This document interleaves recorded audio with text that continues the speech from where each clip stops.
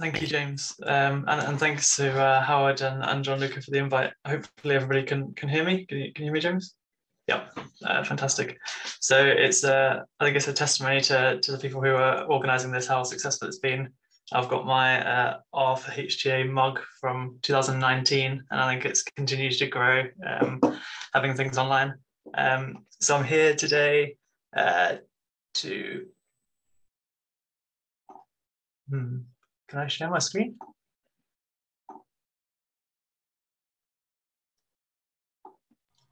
Oh, James, maybe you need to change it the settings and security. So, oh no, you it. Share.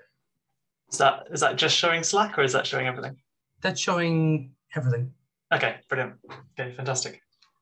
Uh, sorry for that.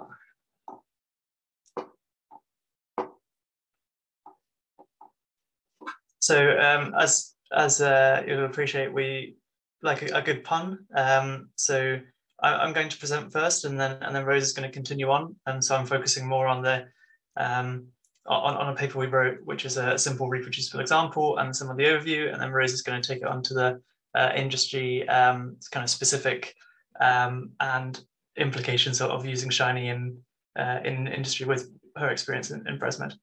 Um, so I want to say from the outset that this is very much collaborative uh, work. The paper published by myself and Paul, and a lot of the uh, a lot of the kind of thoughts gone into it between the two of us. And I'm very good at, at sitting here and listening to the sound of my own voice, but uh, much of this is, is Paul Schneider's work. Um, so Paul and I are based at the School of Health and Related Research, University of Sheffield, um, and also work at, at Dark Peak Analytics. Um, and I'm currently working at the Joint Biosecurity Centre. But the, the views in this presentation are, are my own and de definitely not that of the Joint Biosecurity Centre. Um, so to get straight into what I believe kind of the current process for a lot of, of HTA and the problems that, that arise from that are. Um, so, so I believe that a lot of the, the inputs for, for health economic models would come from uh, modeling done in, in R or, or some, um, Stata. Um, they would get input into a, a model, maybe in Excel or using VBA. Those would be exported, some plots created, some outputs created, put into a Word document, and then maybe presented using PowerPoint and, and circulated more widely. Um, and that's kind of how I, I see the current current process. And I, I, think how a lot of the people, when I'm very much preaching to the, the choir here, uh, potentially see see this process changing, is moving towards something something where we're working all in one software environment. So there you might, for example, do survival modeling in R, take the results of that directly in R into a, a model constructed using R, for example, in, in uh, the wonderful HESIM package or, or any other package or, or, or a custom, custom model. Um, create a load of plots in ggplot, again in R. You could even write a report in Markdown um, and, and then display results and uh, uh, investigate the model more using R Shiny.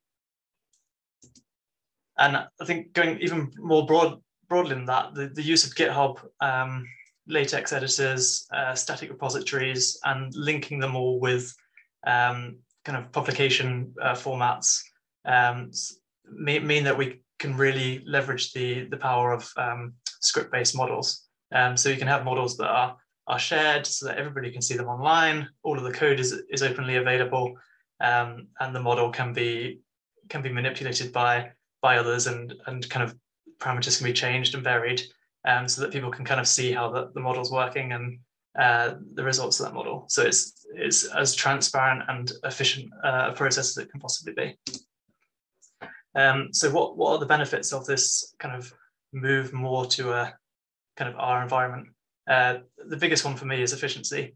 In one click, you can just update your entire model, uh, report, everything. So when, when a client says to you, oh, we, we need to change this one input or this, this one assumption, um, you can make that change one click, everything gets updated.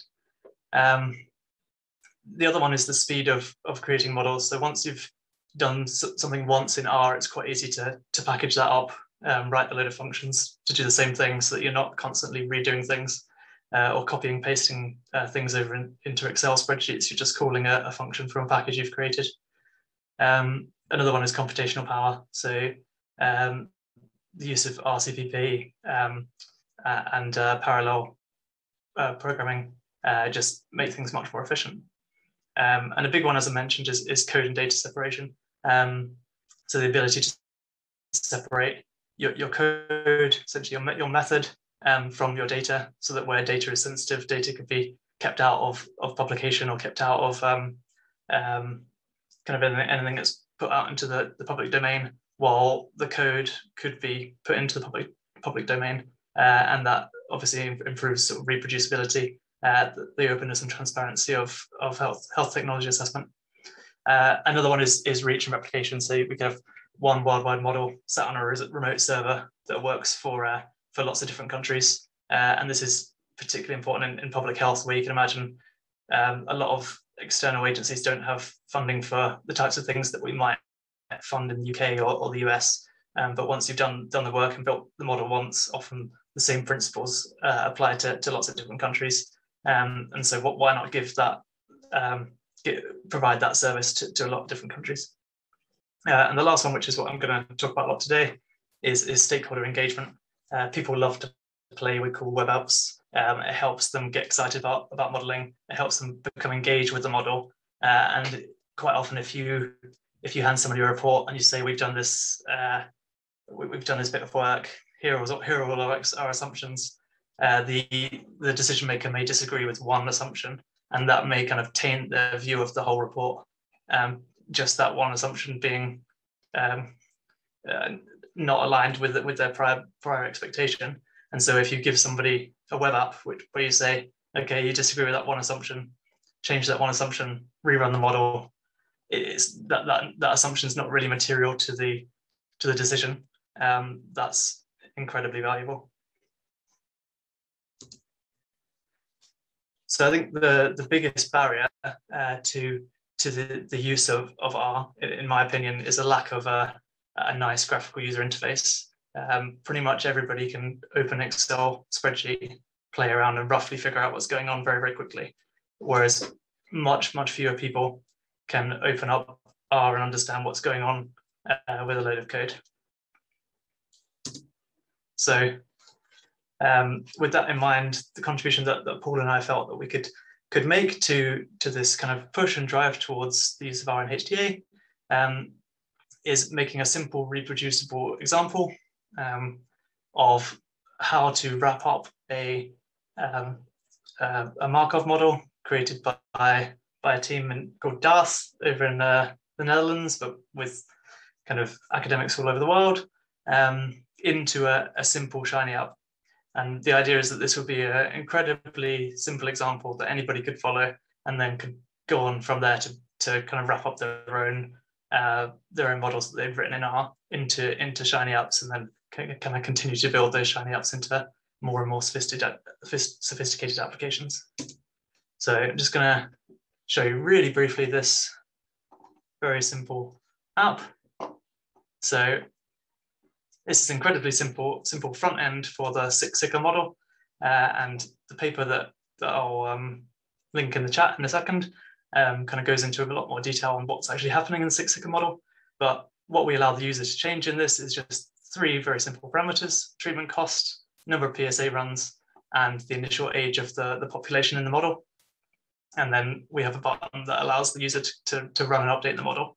So obviously this is incredibly overly simplified, but it, hopefully gives some indication of how we might expect um, the user to be able to uh, manipulate parameters using sliders and, and numeric values. And then we can kind of essentially talk through how to uh, kind of how to build this in a in a simple reproducible, reproducible example.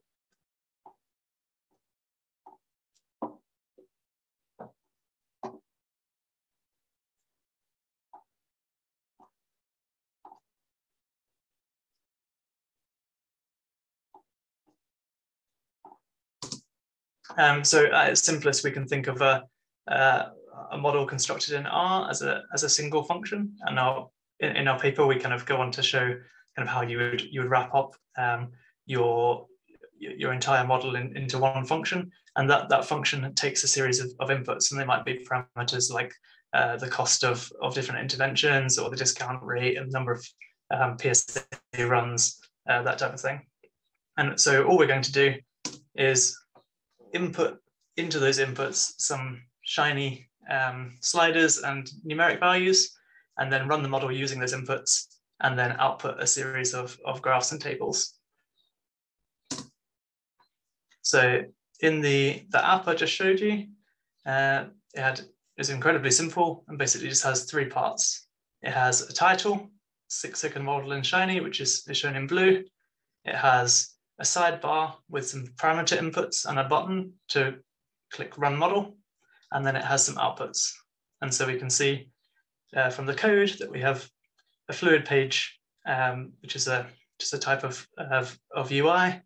Uh, and then we have a title panel and then a sidebar layout, layout that has some code to construct it and a main panel which contains our plots and um, tables, which also has some code. So the sidebar panel code just has simply a numeric input, and that numeric input is called treatment cost, and we give it an ID. So in this case, our, our ID is just called SI for Shiny input, and then cost of treatment. And the same for, for PSA runs uh, and the initial age of the, the population. And then we have something called an action button, which we call run underscore model, um, which will cause something to happen when, when run on the, the user on the server side. And in the main panel, we just have a heading called results table, which you can see here. And then we have a table output, which is created by a, a single function. And then a, a cost effectiveness plane header and a, a plot output. So as I said, absolutely most simple possible um, reproducible example. Um, so in the server side, all that's happening is that when the action button is pressed, so when we observe uh, run model, that input for the action button being pressed, we're going to run the, the, what we call the wrapper function, which runs the entire model using the inputs for the cost of treatment, um, the, the initial age, and the number of PSA runs. And then that function runs the entire model and returns a set of model results. And those model results are fed into um, a table function and a cost effectiveness plane function. And that's all that's in the server side. So that, that's the entire kind of app um, kind of breeze through in, in a few minutes. Um, but you can find out more uh, on the uh, publication uh, that's published in Wellcome Open Research uh, in 2020, I think just, just pre-COVID, uh, wonderful time. So I wanted to also just quickly talk through a uh, kind of more sophisticated app that we built, again, as an, as an example app. Hopefully it doesn't take too long to load. So the paper uh, I was talking about is, is here. Um, and kind of goes through in much more detail, kind of the wrapper function and, and the dark um, the Darth group function. Uh, so this is okay. So this is our kind of slightly more sophisticated model, and this model allows you to, to see kind of base population survival and change some parameters. Um, you can see um, the distribution of uh, relative risk of, of, of, death once you're in, in the sick state, uh, you can uh, fit uh, different distributions to the to the um, survival curves um, and extrapolate from those. So here we've we've got the Weibull as the, the default, but you can fit any of these different options. And then compare those. We have costs and utilities and the, and the distributions in the PSA that you can input. And then you can decide how many PSA iterations to run.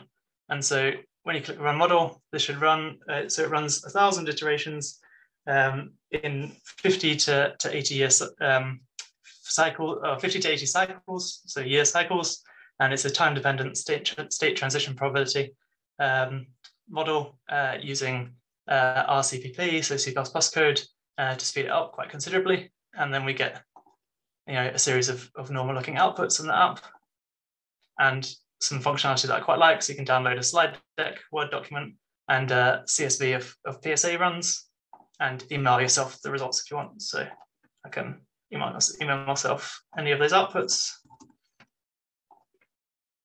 and then it'll go and create those. And that, that can be really useful if you're if you're running a model that's going to take quite a long time. You could, could run that in the background and then have it sent to you kind of when you're ready. Um, so I go to my email address.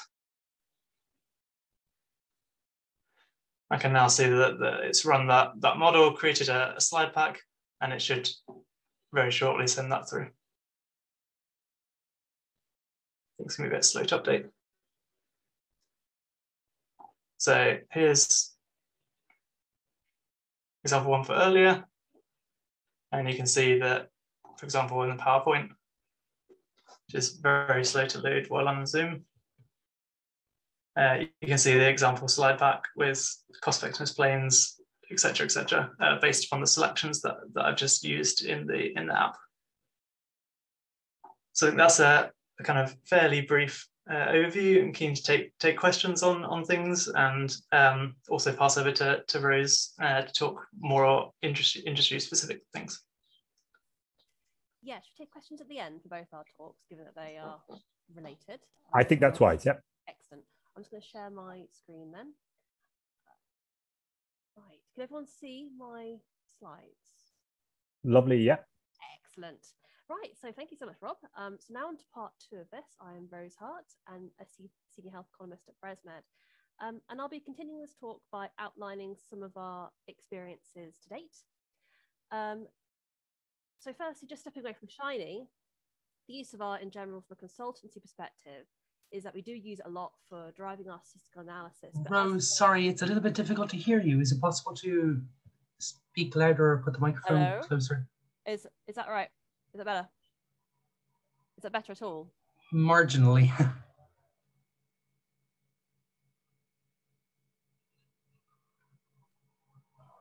oh, people are saying, yeah, we can hear you. Thank you. Yeah, that's good. That's fine. I prefer to use my headphones if possible. Um, Yeah. But, oh yeah, okay. Um, yes, right. This might be a okay. My partner might be typing in the background, so I do apologise if that's if that's distracting. Um, so there is a clear preference in our models for the use of Excel. Um, and this makes sense given where the clients are coming from. Um, the ubiquitous availability of Excel, everyone seems to have it, even though it's not free like ours is. There is a learning curve associated with alternatives. Um, anything different will take time. There's a HTA preference for Excel, um, and we'll cover that in a bit. Um, and also there is perceived transparency advantage. Uh, and this essentially, that this perception comes from the fact that Excel comes with a built-in front end uh, where users can immediately see graphs and you know see formatted tables. And this is obvious. This is often perceived as a more transparent than code, um, especially for those who are not very familiar with code. And like Rob highlighted, there are, however, significant advantages to using R that benefit our projects. The idea that the statistical analysis and the cost effectiveness analysis can be in one place. Um, so it's kind of end-to-end modeling from patient level data straight through to cost effectiveness analysis. Um, and also code can be much more efficient and transparent to write, uh, review and adapt, um, especially in large projects. Um, so there is that advantage for R. Um, but with users having to run and access codes, the reality is often that R is more access inaccessible to non-R users and that this is, as Rob said, a major barrier to the widespread use of R um, for modeling, but the Shiny package overcomes this. It allows users to interact directly with R functionality without actually having to directly view or edit the code. And that's the key difference. And that's, that's the key thing that we're, we're looking at here. Um, so a while ago, we wanted to explore this, whether in a consultancy, it's actually feasible to be able to build a complex model uh, for HTA, because that's ultimately where we're most of, mostly going with this. Um, so we want to create a model that includes a lot of the advantages of R and Shiny um, that Excel struggles with. So we wanted that end-to-end modeling with everything in one place from patient data to cost effectiveness outcomes. We wanted complex statistical analysis. So, you know, things like having the, um, the um, uh, thing like matching analysis, um, having the parametric fitting in, in within an app, um, which you can't do in Excel but also wants a user-active front end with informative visuals. And um, we want to go beyond what Excel has on offer already. So we used this uh, to create a case study, which we then published to um, this paper here from 2020. I will include references at the end. Um, to basically produce an explicit comparison between Excel and R um, for cost effectiveness analysis. So, uh, and the result of this was um, an R Shiny model was developed and an Excel model was also developed. Um, and this was kind of validation and comparison. We shared our experiences. So this is the decision problem we developed. Um, we wanted to be able to, uh, we, we produced a hypothetical CAR-T um, case study. Uh, we wanted to uh, simulate hypothetical data that was representative of this indication. So we had single arm um, hypothetical data and also a historical control arm, which I think we took from published evidence. We wanted to have, and in the app, to be able to match these cohorts and be able to have these user amendability of options. So we have to play with the covariates who actually are matching on. And then from that, take the match data and be able to um, extrapolate them using both parametric distributions and also mixture cure modeling. And also in the app, finally, we want to be able to model this for state transition models and also partition survival analysis. You know, so we really wanted to throw throw everything at it, really, because this is how we see if it's feasible. Um, and after that, export the outcomes to Microsoft um, Microsoft Word. So just a report, you know, just a basic template sort of thing. Um, so this is successful. Um, here is the app that we developed. It is freely, the front end is freely available uh, via this link. Um, and just to sort of demonstrate um, what we can do with it. So we had this lovely, lovely tabs layout. Um, so it's easy to navigate. We had introduction, background, general model information all put in. Um, we have a control sheet, and this has all the things you'd standardly, sorry, more uh, normally see um, on a control sheet. Um, except you can also change things like model cycle as well as things like time horizon. We also wanted to have it where we simulated updating a data cut, you know, uh, so we had two different sets of PLD in here. So you could pick which PLD you wanted. And the idea was to sort of say that if you had a data cut update, then you could just put it in the back of here and it would then take it forward. Uh, we also wanted to demonstrate that you could have um, multiple uh, indications, uh, populations in this, and this would just filter down those groups as and when. Um, and also we wanted to have more than one um, source of, of costs. As we said, we wanted a partition survival model and also state transition modeling options in there. Um, so we incorporated that. Um, but the most important thing for us is that fact that we could do this, this quite in-depth um, analysis of the data. So here we've got the, actually we have two single arm trials and we had options to match. Um, so we have a save base case, which we just had um, as, a, as a base case for the model, but also you could do a naive comparison or live propensity score matching.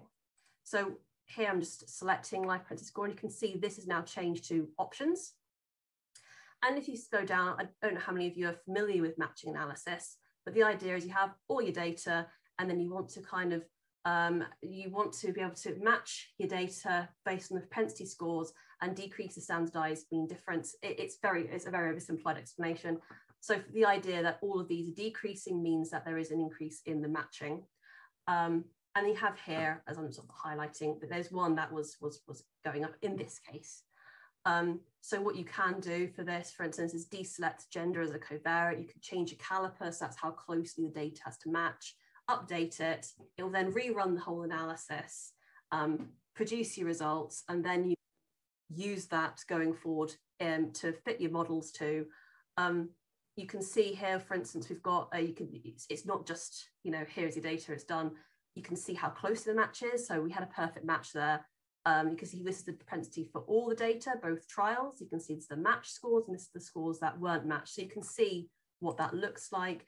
Um, there's also things like the variance um, and the statistics surrounding that data. So this is all very, very powerful analysis that people can have access to. Is something that usually you don't sort of see. You've got statistics, you can compare the, the all data and the match data and the different outcomes, and here's your, the characteristics of the match data set. It's all there.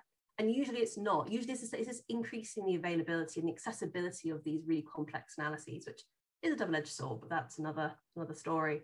Um, the you could, from there it takes that match analysis and then uses it in the data. You can see um, the KMs, um, the log cumulative hazard plots. So you can take this forward and it would fit the data.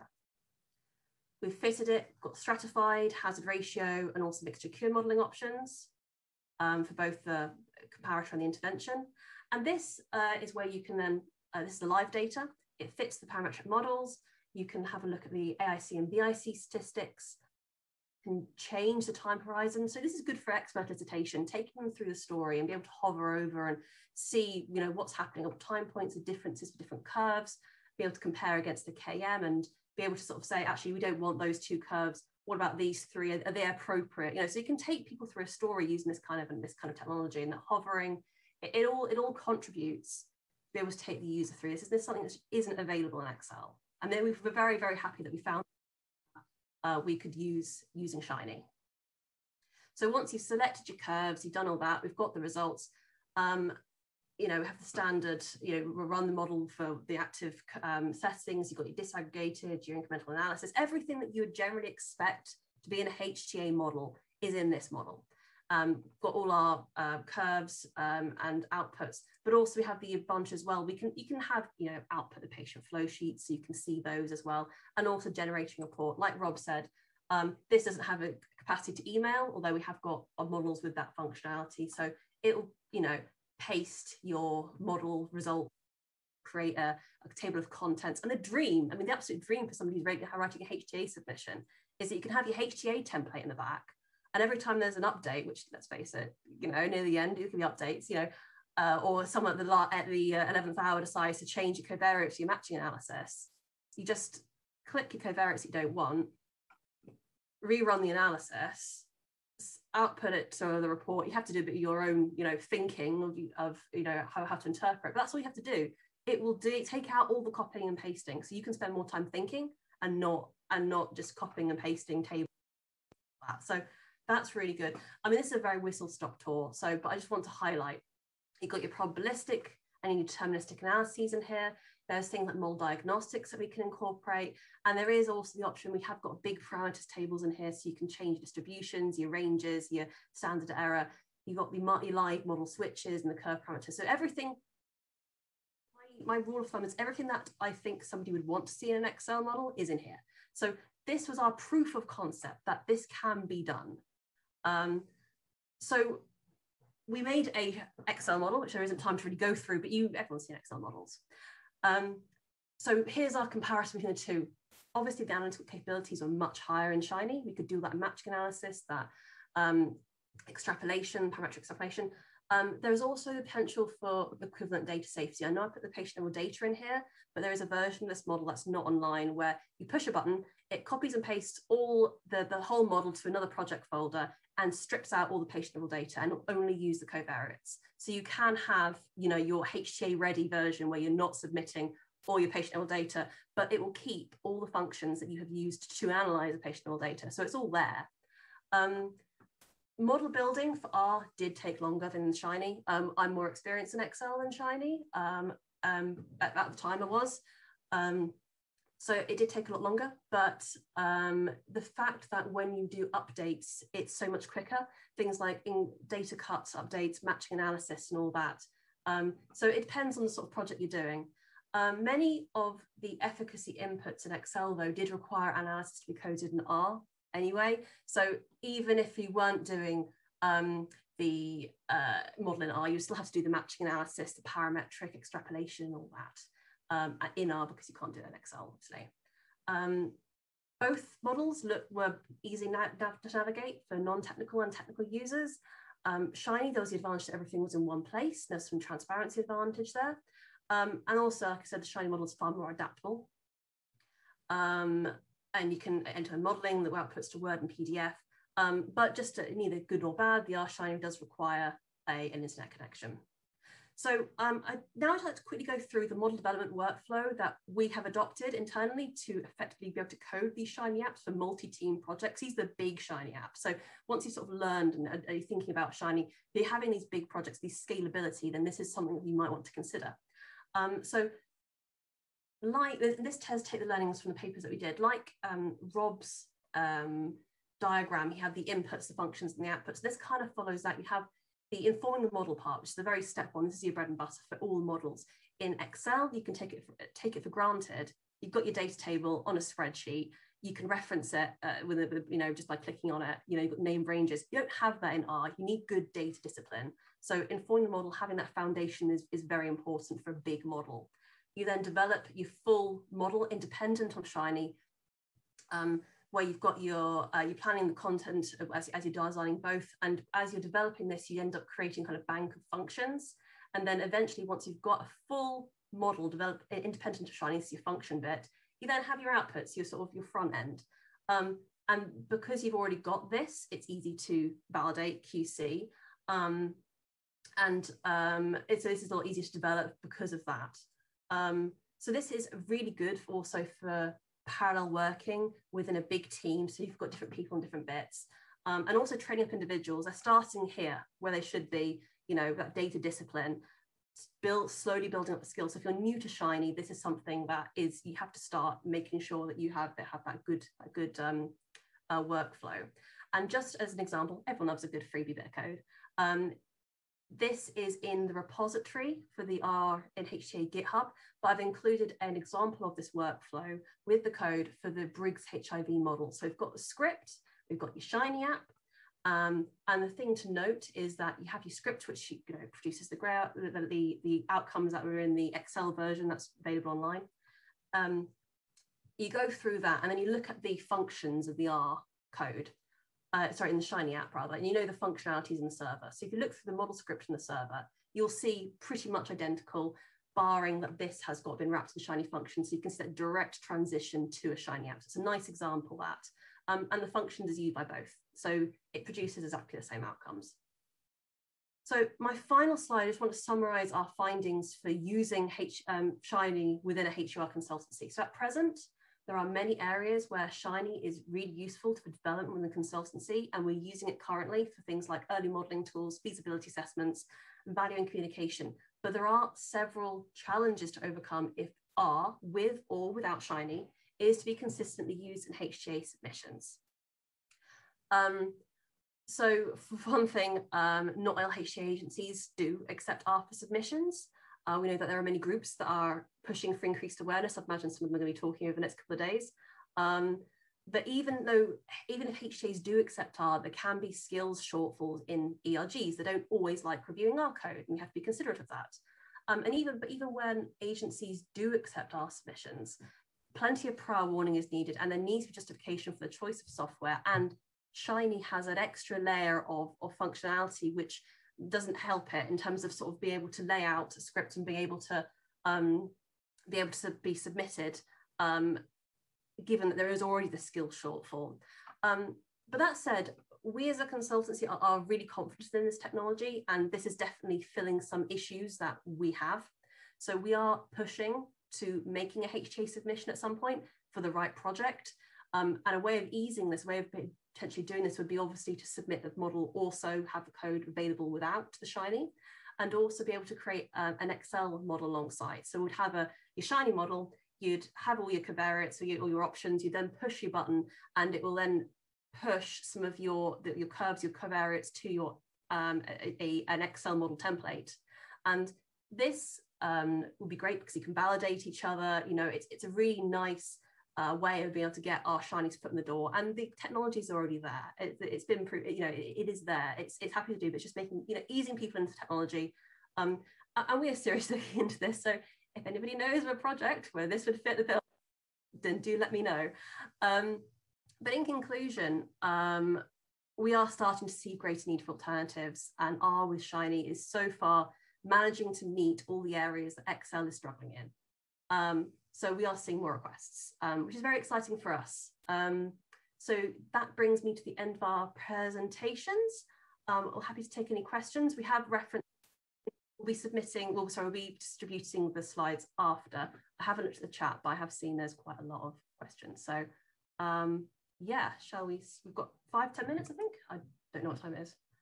I think, we, I think we have five minutes. Thanks very much, Rose, and thanks, Rob. I thought those are two very, very uh, clear presentations definitely the user interface that Rose presented is uh, very beautiful, but clearly very heavyweight in terms of the what it it covers.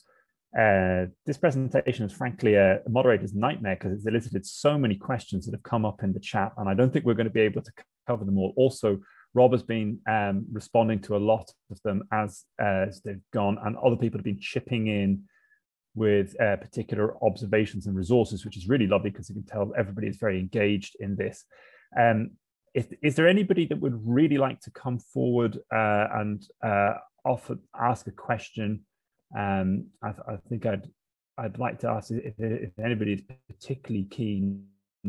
Um, um, I can see uh, uh, there were some some particularly interested um, Kashif Siddiqui, and, and, I think was was asking some of the earlier questions. I don't know.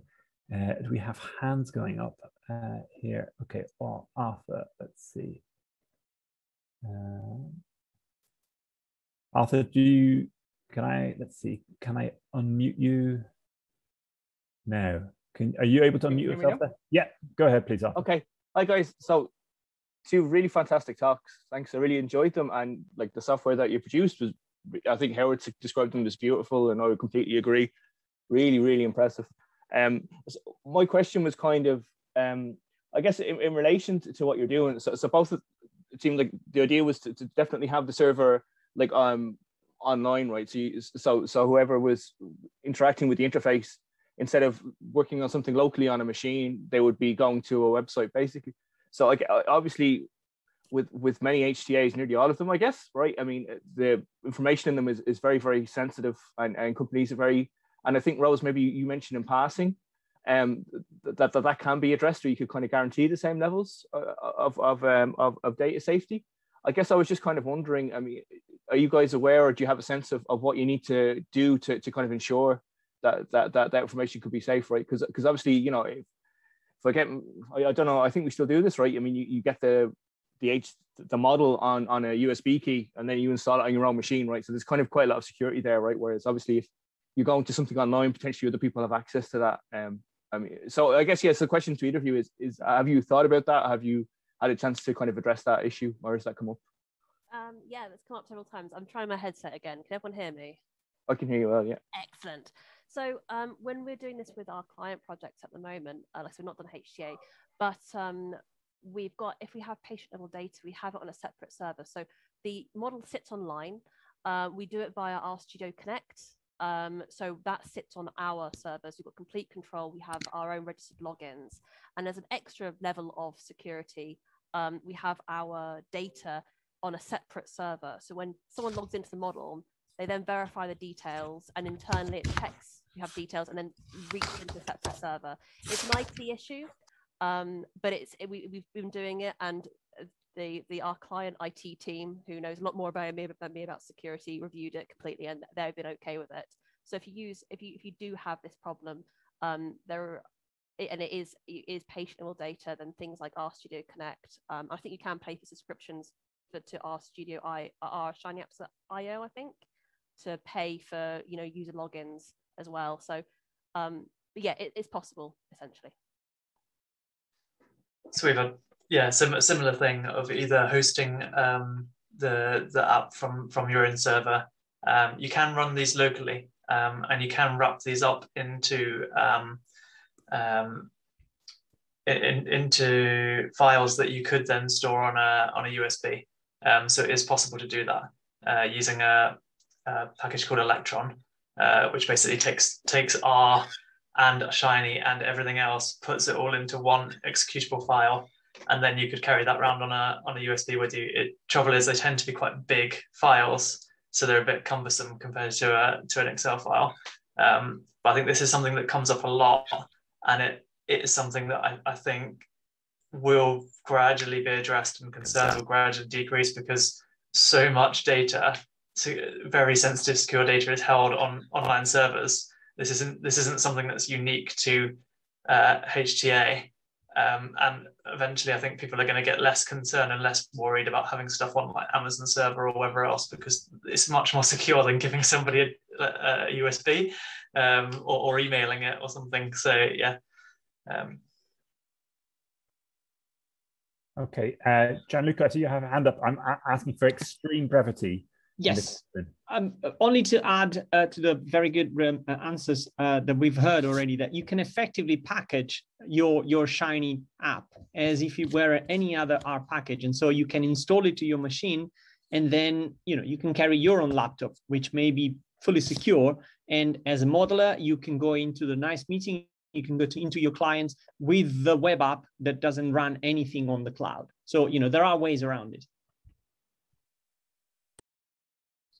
Super. That was a brief comment. That was uh, fantastic. Uh, well, thanks very much. That was an absolute zinger of a start for the. Uh, so I'm, I'm really pleased. That's throwing down the gauntlet for, for everybody else. So um, I'm just going to go back and share my screen so I can uh, bring up the next presentation. So we should uh,